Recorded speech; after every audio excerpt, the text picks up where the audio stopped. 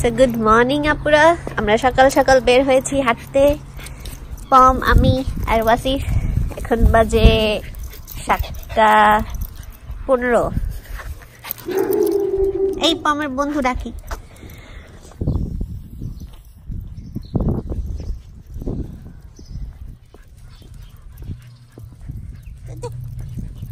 তুমি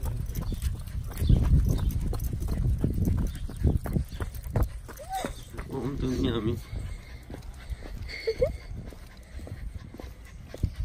good boy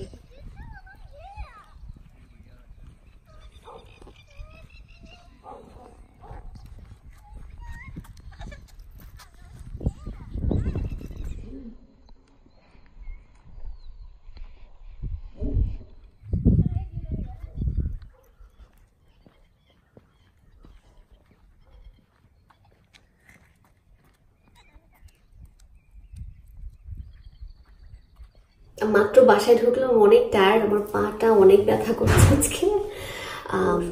একদম পুরো ঘেমে গেছি। এখন আমি ফ্রেশ হয়ে তারপর ব্রেকফাস্ট বানাবো। তো ব্রেকফাস্ট আজকে যা যা বানাবো সেগুলো তোমাদের সাথে শেয়ার করব যে এখন আমি কি কি খাচ্ছি ব্রেকফাস্টে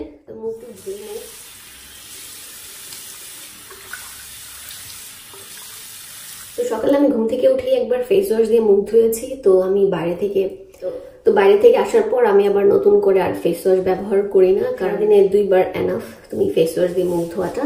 সকালে বের হওয়ার সময় আমি সানস্ক্রিন দিয়ে বের হয়েছিলাম এবং এটা ব্যবহার করেছিলাম নিউট্রিজিএ ফিফটি এটা। তো এখন আর নতুন করে আর সানস্ক্রিন দিব না এখন জাস্ট ময়শ্চারাইজার ক্রিমটাই দিব। এই আর হাইড্রা বুস্টটা এই আর কি।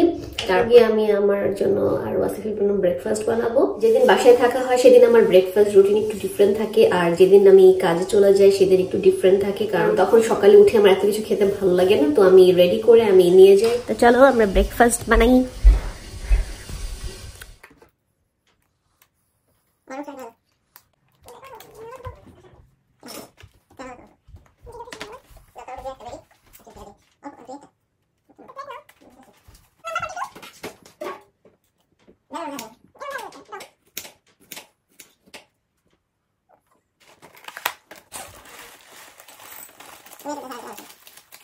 তো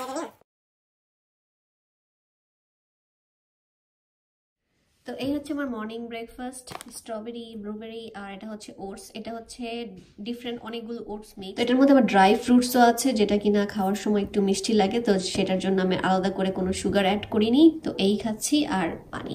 দ্যাটস তো এই হচ্ছে আমার আজকের ব্রেকফাস্ট খেয়ে তারপর আমি আমার জন্য চা বানাবো। তো ফ্রুটস এটার মধ্যে অল্প একটু মিক্সড করেছি, বাকিগুলো পরে বসে বসে খাব। এই আর কি। তো এক এক দিন আর কি ডিফারেন্ট টাইপের আমি ব্রেকফাস্ট বানাচ্ছি যাতে একটু টেস্ট চেঞ্জ হয় কারণ প্রতিদিন এক খাবার খেতে ভালো লাগে না। এই আর কি।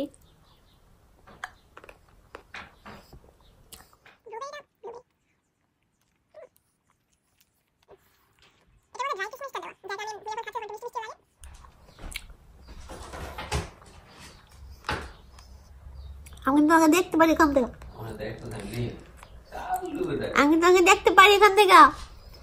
তুমি কি করো ওখানে? তোমরা বাংলাদেশে গেলে কি কি খাব আমরা এখনই আমরা লিস্ট করে রেখেছি। বিশাল বড় লিস্ট যেমন বাংলাদেশে গেলে এটা এটা এটা খাব। বাংলাদেশের খাবার আমি অনেক মিস করি। সকালে পরোটা ভাজি। মানে বাংলাদেশের এখানে এরকম রান্না হলেও বাংলাদেশের মতো গন্ধ হয় না। এখানে বানালে ওই বাংলাদেশের মতো আলুর গন্ধ একটা সুন্দর একটা গন্ধ আসে না? ভাজিতে এরকম গন্ধ হয় না। তো ব্রেকফাস্ট শেষ করে চা বানাবো, চা খাব, তারপর রান্না করব, তারপরে হেয়ার প্যাক বানাবো অ্যাভাকাডোর ওইটা মাথায় লাগাবো দেন শাওয়ার নিব, তারপর আমি টিউটোরিয়াল করতে বসবো আজকে। তো এই হচ্ছে আজকের আমার প্ল্যান তো টিউটোরিয়াল শেষ করে আমি সাথে সাথে এডিট করতে বসবো এডিট শেষ করে তো মাঝে মাঝে আবার ব্লগও করব, তারপর আমি রাতে জিমে যাব জিম করে এসে খেয়ে দে ঘুম। এই হচ্ছে আজকে সারাদিনের প্ল্যান অনেকক্ষণ বকবক করলাম, এখন উঠি ঠিক আছে চা বানাই উম। তো এখন আমার চা খেতে ইচ্ছা করছে না আমি একটা গ্রিন টি বানাই এটা। তো এটা হচ্ছে জেসমিন সেন্টেডের গ্রিন টি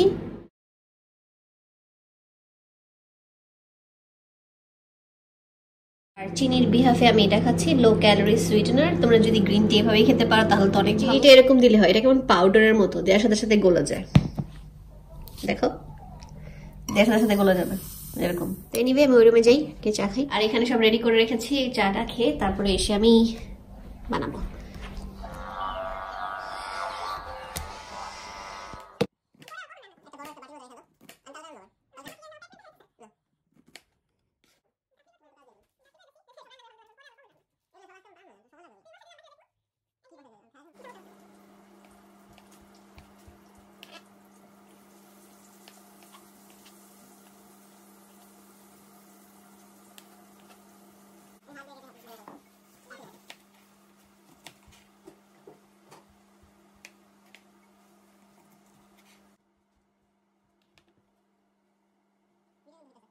তো আমার সবজি সব কাটা শেষ, সব ধোয়া টোয়া সব ডান আর মাংসটা আমি ম্যারিনেট করে রেখেছি।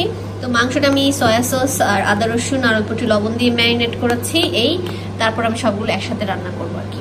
এই, তো আমি যেটা করি, সবজিগুলো আলাদা আমি সিদ্ধ করে নিই হাফ তারপর আমি সব একসাথে মিক্স করে একটা সবজি বানাই লাইক এরকম। লাইক এরকম।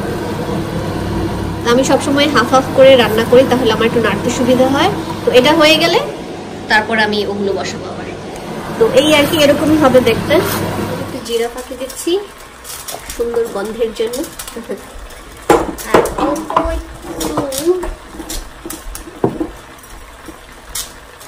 একটু একটু মরিচ দিচ্ছি। আর আমার জন্য ডিম সিদ্ধ দিয়েছি যেটা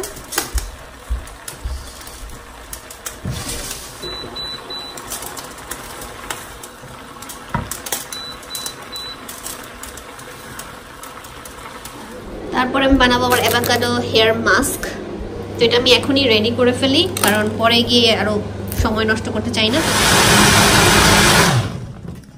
এই হচ্ছে আমার নিউ হেয়ার প্যাক সো এই হচ্ছে আমার আরেকটা new hair pack for hair growth and hair fall কমানোর জন্য। তো এটা এখন মাথায় ব্যবহার, একদম ফ্রেশ স্মেল আমি খুব তাড়াতাড়ি করে সব কাজ করি তো যার জন্য অনেক সময় ব্লগে অনেক কিছু বলতে ভুলে যাই। পরে গিয়ে আমার মনে পড়ে যে আসলে এটা বলা দরকার ছিল এটা বলা দরকার ছিল। এত কিছু আমার মনে থাকে না এত অর্গানাইজ করে আসলে করা যায় না। এর জন্য সবসময় যেটা করি একটু বের করে মাথায় দিই। চামচ। এগুলা সবসময় করি। এখানেই দাঁড়িয়ে দাঁড়িয়ে লাগিয়ে ফেলছি। নেক্সট আবার যখন বানাবো তখন তোমাদের সাথে আমি এটা আলাদা করে একটা ভিডিও করব। আর আমি সবসময় যেটা করি কিচেনে যখন আমি কাজ করি, তখন দুটো প্লেট বাটি বা ফ্রাই প্যান বা যেটাই বলো না কেন, আমি কম ব্যবহার করি, ওইটাই ধুয়ে আবার ওটা ব্যবহার করি। তাহলে আমার কিচেন এত একটা মেসি হয় না, তো খুব ইজিলি ক্লিন করা যায়। আর না হলে আমি যদি একটার পর একটা বের করতে থাকি, ব্যবহার করতে থাকি, তো ওগুলো আমার ক্লিনও করতে হবে, ওগুলো অনেক সময় লেগে যায়। তো যার জন্য কিচেন আমার কম মেসি হয়, তো খুব ইজিলি আমি ক্লিন করতে পারি। এখন আমি হেয়ার মাস্কটা লাগিয়ে ফেলব, আধা ঘণ্টা বা ফর্টি মিনিটস পর দেন আমি ওয়াশ করে ফেলব। এবং অবশ্যই আমি শ্যাম্পু করি হচ্ছে আমার হেয়ার মাস্ক এটা এখনই লাগাবো। রুমে তো এই হচ্ছে আমার লাঞ্চ দুইটা ডিমের সাদা অংশ আর ইচ্ছা মতো সবজি। তো এখন এগুলো খাব বসে, তারপর বাকি সব কাজ করব।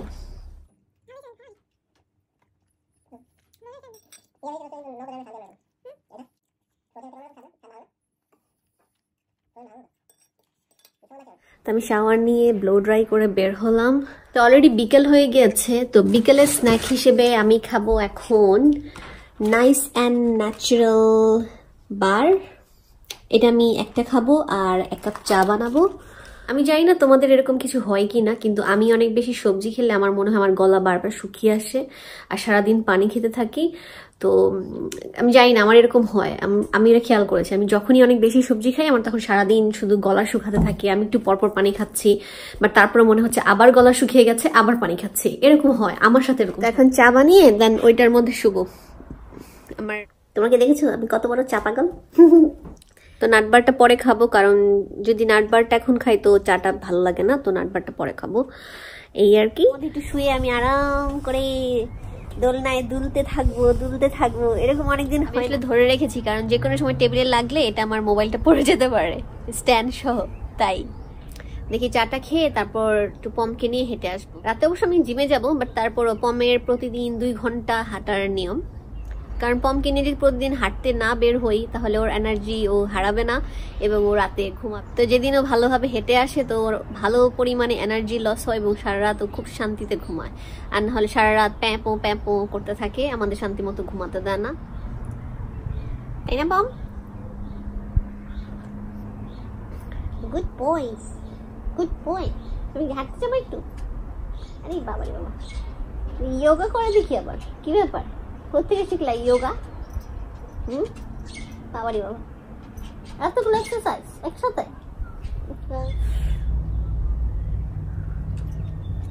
বাংলাদেশে যেমন গ্রামের বাড়িতে সন্ধ্যার সময় যে কেমন একটা ধোঁয়ার একটা গন্ধ আসে না, এখানে না সন্ধ্যা হলেই না ওই গন্ধটা আসে, একদম পুরো গ্রামের মতো। তার মানে আমরা গ্রামে থাকি। কিন্তু আমার কাছে এই গন্ধটা আমার এত ভালো লাগে, মনে হয় যে আমি বাংলাদেশি কোনো গ্রামে ঘুরতে এসেছি, এরকম আমার কাছে মনে হয়। এবার পমকে নিয়ে বের হয়েছি হাঁটতে। ভালো লাগছিল না। তো ভালো, আধা ঘণ্টা হাঁটবো, হেঁটে বাসায় চলে যাব পমকে রেখে তারপর আমি ডাইরেক্ট জিমে চলে যাব।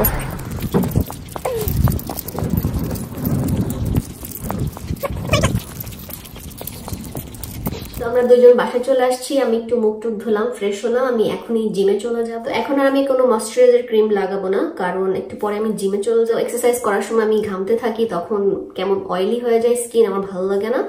তো আমি যেটা ব্যবহার করি, তো জিমে যাওয়ার আগে আমি যে ময়শ্চারাইজারটা ব্যবহার করি, এটা হচ্ছে কডেলের গ্র্যাপ ওয়াটার এটা ফিফটিন বা টোয়েন্টি ডলার এরকম নিয়েছিল। তো এটা স্কিনটাকে খুব সুন্দরভাবে ময়শ্চারাইজ করে এবং এটা আমার খুবই ভালো লাগে, কারণ এটা কোনো অয়েল ক্রিয়েট হয় না, কিছু না।